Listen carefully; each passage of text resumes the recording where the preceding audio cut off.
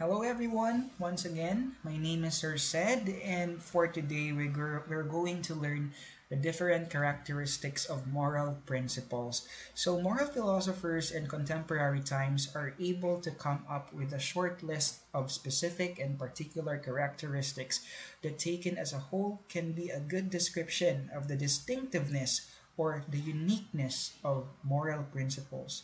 While there is no universal agreement on the traits that moral or ethical principles must have, there is a wide consensus as to what these traits are.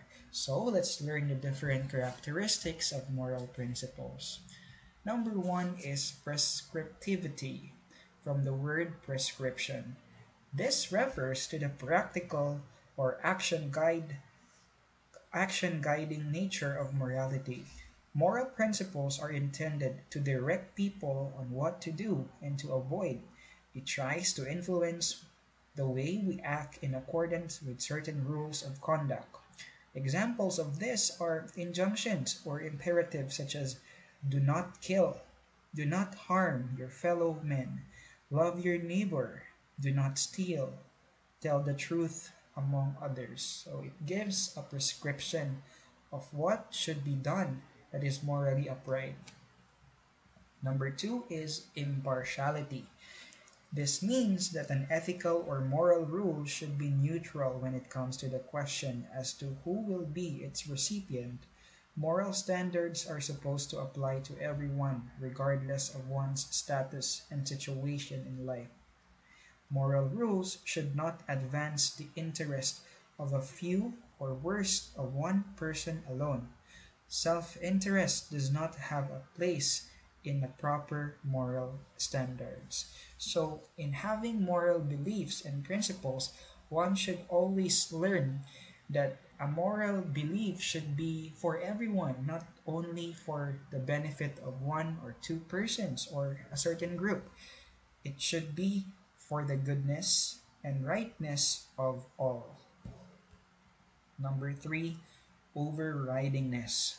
Moral standards must have hegemonic authority.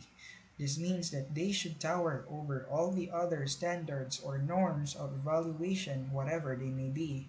They are not the only standards where human actions can be judged or assessed, but they should take precedence over others. They have to be a prime and ultimate importance. Number four, autonomous from arbitrary authority. Let's define first what is arbitrary. Arbitrary is relating to a power or or it can be a ruling body, unrestrained and autocratic. So moral standards should stand on their own logic independent of the arbitrary of the arbitrariness of the majority. We can always challenge on logical grounds the tyranny of numbers and the tide of public opinion in matters of what is right and what is wrong. Something is right or wrong regardless of what the majority decides or says. So it should be away from an autocratic power. Number five is publicity. This simply means that moral rules and principles must be made in public if they are to serve as guidelines to our actions. The obvious reason for this is that principles are made and promulgated to render advice as well as assign praise or blame to certain behaviors. It would be self defeating, therefore, to just keep them from public knowledge. If moral principles are indeed impartial and of primordial value, then by all means they have to be made public. Keeping them in secret defeats the very purpose why they are created in the first place.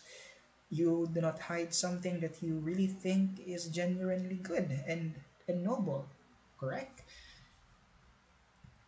And the last one is practicality. Moral rules should not be impossible to achieve, or else they are not for men but for angels.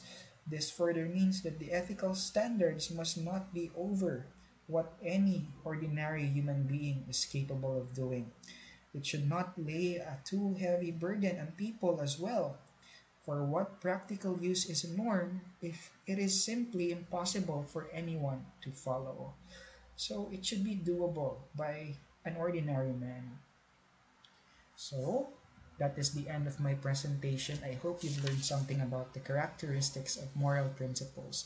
See you again to our next class. Goodbye.